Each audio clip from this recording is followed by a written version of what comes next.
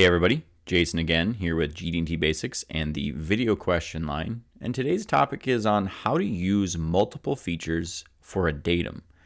The question that was submitted is I've been trying to figure out applications of common datums. Now, this sort of tool or methodology uh, that the standard gives us to use in the real world is goes under a lot of names. Uh, I've heard it called multiple datum features, uh, common datums, uh, dual datums, things like that. Uh, but the fact of the matter is, is we have a tool the standard gives us to use multiple features on our part to create one singular datum. And so we're going to go through a couple scenarios, probably the most common scenarios that we'd see this tool being used on, uh, and talk about why we're using it in this situation and how it's being applied and interpreted. So the first most common uh, feature I see this tool being used on is with cylindrical features or shafts like we see here, things that are turned around a common axis. So a lot of times uh, these axes or these shafts um, operate on more than one critical feature. So if you take a look at this part in its final assembly, more than likely it's got multiple bearing surfaces or multiple bearings on uh, multiple features, creating a single axis of rotation. So as you can see here, both bearing surfaces will simultaneously dictate the axis of rotation for this part in the final assembly. Not one axis from either of those cylinders is going to dictate the location or orientation of everything else, in the final assembly, that is. So when we try and apply tolerances to these drawings, we can see that it's important that we probably care about the coaxiality or the runout of all of our other features to this axis of rotation because that's how it functions in the real world. We want to know the runout with respect to this axis of rotation. So we can see that we have applied runout, circular runout, to a lot of the features on this part with respect to datum axis A-B. Now that's not with respect to datum axis A and then datum axis B. It's a completely separate axis actually. In fact, datum axis A might be this axis right here if this feature over here tips off to the right. And datum axis B might look like this, and it might tip a different direction if the datum feature for datum feature B is in a different orientation than datum feature A. These two axes will be separate axes. They won't be coaxial. They won't be in the same orientation. That's just how the real world works. Nothing is perfect. But what we're going to do is we're not going to rotate around this axis or this axis we're actually going to take these two features and create a brand new axis. And we're going to call that datum axis, datum axis A-B. And now we can see that we have an envelope simulating that datum axis. And this would be our datum axis derived from both features simultaneously. And so we can get datum axis A-B from datum feature A and datum feature B. And we can actually see the datum feature symbols right here on each of those features. Nothing on this drawing is referencing datum axis A, and nothing on this drawing is referencing datum axis B. Everything is referencing datum axis A-B.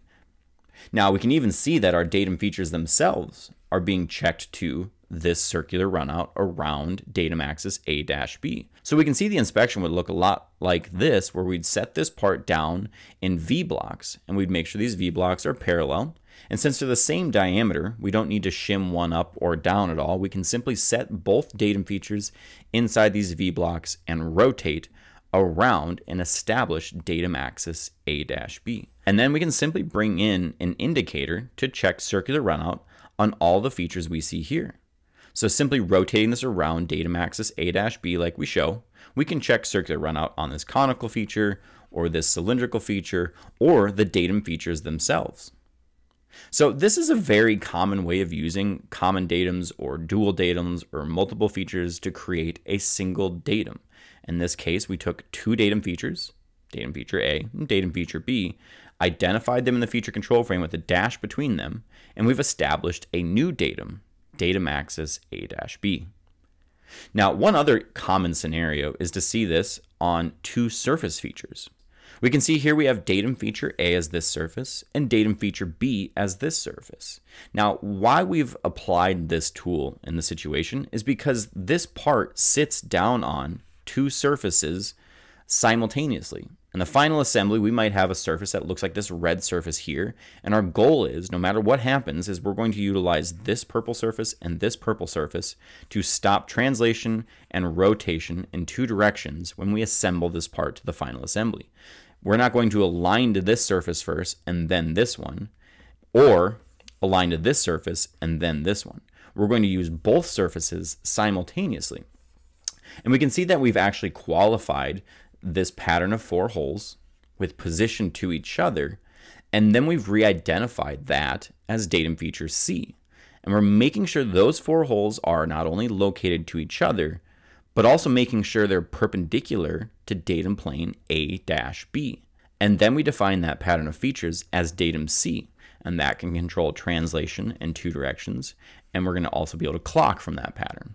And that's where we see this feature over here the through hole and counterbore diameter being controlled with position with respect to datum plane AB, and then also located and orientated to datum C, the secondary datum. But again, like our previous example, it's not to A first and then B. What we're going to do is we're going to establish a new datum. And something unique happens here because our datum features aren't coplanar, or like in the previous example, coaxial. Uh, in something like this, we can see that we actually could establish our datum plane AB here or our datum plane AB here. But we know, regardless of which zero we pick, we know the nominal offset between that zero uh, is going to be one inch. So I like to picture this one down here. This is our datum plane AB. But what's interesting is it has to utilize both of those surfaces. So it can't just zero out on this plane. So let's take a look at what I mean here if we bring in a realistic situation, again, we're trying to sit on this surface and this surface in the final assembly. But if our datum feature A and datum feature B aren't perfectly coplanar or perfectly spaced from each other, they're going to be a little bit offset and you have to make sure to rely on both surfaces. So if we set the location off of just the left feature, we could see that we'd tip down right? And that's not what we want. That's not how the part functions.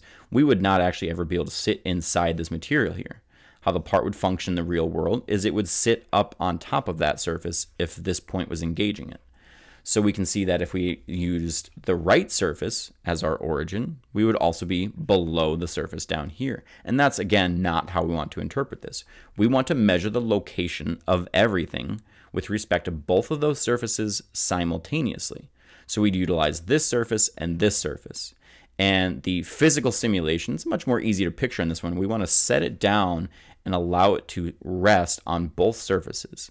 Then we can establish our location and orientation for all of our other features. In other words, we can see that the hole that would go through here should either be 2.25 from this or 1.25 if you decided your zero was this plane. But again, it doesn't matter which one you pick, it's more conceptual at that point, but we see that we utilized both surfaces to establish our origin. So hopefully that answers the question and sheds some light on some scenarios where the common datums or dual datums or multiple datum features creating a single datum are applicable uh, and how it's interpreted and applied. So thanks for submitting the question and have a great day. Our goal is to be your best source for GD&T information online. It's important to us that everyone involved in engineering and manufacturing have the chance to learn and better understand GD&T on your prints. We have many free resources to help you get started on your learning journey. Subscribe to our GD&T community using the link in the description below or visit our website. Test your knowledge with our GD&T and print reading quizzes download helpful charts, and access articles